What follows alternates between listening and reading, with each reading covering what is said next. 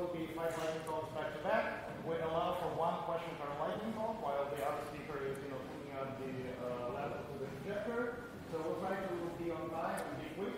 And with that, uh, I'd like to introduce our first speaker, uh, Lionel Montrieux uh, from Zalando. Uh, who will be talking about the streaming pipeline uh, and technology that they've built and are using at the company. So welcome.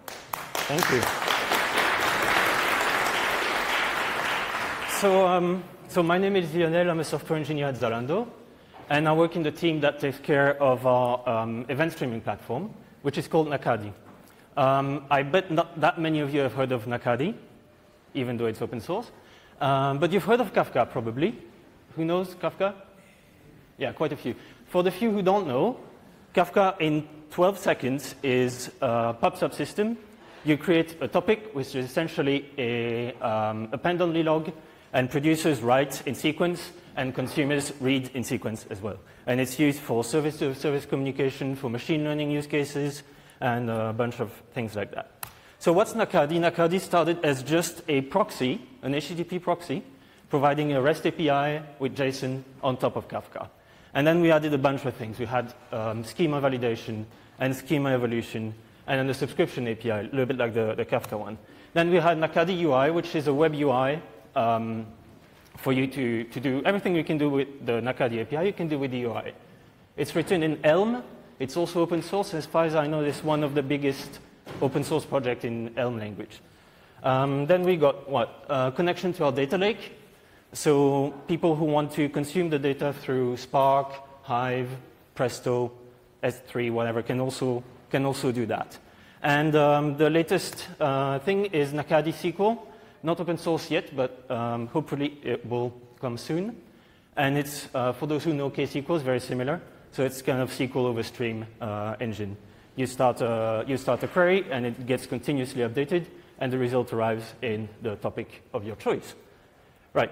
So Zalando, uh, Nakadi is open source, but Nakadi is also the main, the central part of our uh, streaming system at Zalando. So how big it is exactly? Uh, we've got over 100 teams using Zalando, uh, Nakadi every day inside Zalando. They produce over 100,000 uh, events per second, uh, sometimes goes up to 200,000.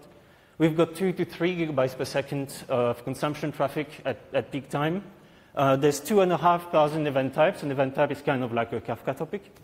And uh, I checked last week, there's about 100 terabytes of data that's transferred every day in and out of Nakadi.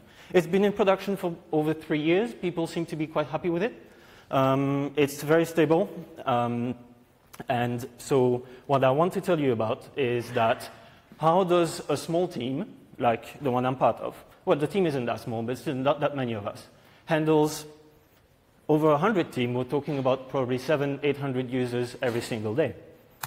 This is us.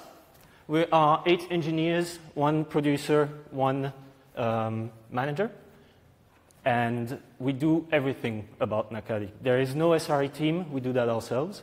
We do, of course, the development of Nakadi itself. We do operations of Nakadi, Kafka. We do monitoring.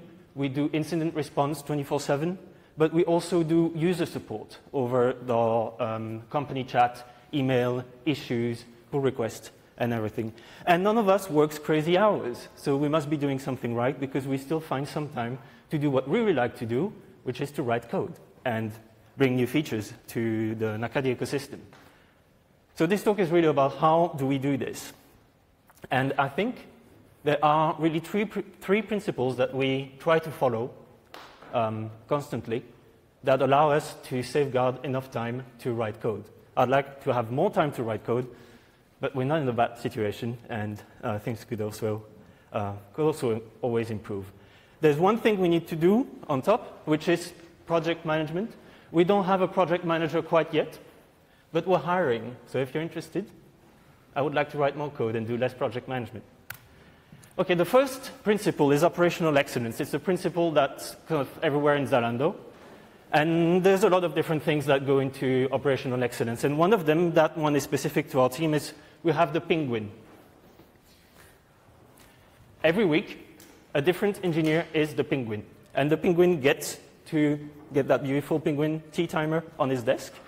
And he's responsible for incident response and dealing with all user queries for an entire week, which means that the seven other engineers get to actually do things they like, which is to write code. Um, further into operational excellence, we also invest in every sprint some time to um, improve our operations. Deployments that are automated, uh, more monitoring, more. So it's easier to, to react to issues and problems that users find, and that always leaves more time for writing code. Second principle, easy to use. The API itself is quite easy to use, I would like to say. Um, we follow Zalando's um, REST API principles, which are well known in the company, but they're also open source, so you can, you can check it out. There's a link at the end of the talk. And then we built Nakadi UI, where you can do everything. It's that Elm project I was mentioning. You can go create event types and resources and queries and subscriptions and change authorization and even look at which events are currently in Kafka. You can do all of that. And we found that, first, we have a lot of business users since we put this up, because they don't like to use an API, but they certainly very much like to use a web UI. And second, engineers really like to use the UI instead of having to remember which parameters to use for the API. That saves us a lot of time because if things are easy to use, then people will be more comfortable to use it and they will ask less questions to the penguin, who will then have time to write code, as we all like to do. And the last one is that Nakadi is almost entirely self-service. We try to make it as self-service as possible. What does that mean? You are, there's like 200 teams, and maybe you have a new team and you want an event type for some, push some order related data. You know better than me what the schema of that event type should be, who should get to write to this event type, who should get to read from that event type, and when you need to change the schema, and when you need to make any change at all. So we let you do it. That, what does that mean is that any resource you create in Nakadi, you create it by yourself, but you own it and it's your responsibility. You can set authorization per resource, and you can change it by yourself. So you're sure that someone else doesn't do something silly with your, with your resource.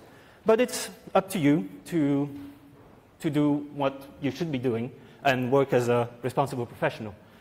Now, you could say that maybe it's not too wise to let people do whatever they like, but we have a lot of safeguards. There's audit logs, there's the authorization section, so not someone else cannot do um, something to, to, your stuff. And there's people reviewing things and, and looking at it. So it, it, it's working really well. Every time we have to perform an operation ourselves, this is a big bottleneck. People are dissatisfied because it takes some time and we are not very satisfied because we don't get to write code.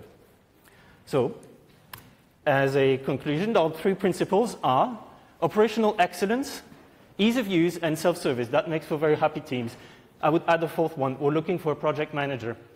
If you are a good one, or if you know a good one who would like to move to Berlin, or lives in Berlin already, um, that, would be, that would be really great. There's a few other things that, uh, that Nakadi has that make the life of users easy. Um, we've got great documentation and we keep improving it uh, constantly. That also reduces the number of questions we get. And um, everything, everything in the API is documented down to every single status code you could get as a response to any query to any endpoint. And when you get an error response, you also get in the body of your response the details of why there was this particular error. So say there is a validation problem um, for your uh, event that you were trying to publish, you will get an error that says, I was expecting this field and it's not there, or that field is not there and it should be. You've got a few links, nakadi.io for Nakadi itself. You can find it on GitHub, Nakadi, Nakadi UI, a bunch of libraries contributed by other people at Zalando, and the um, RESTful API guidelines that are also open source. And I think we have time for one question. Thank you.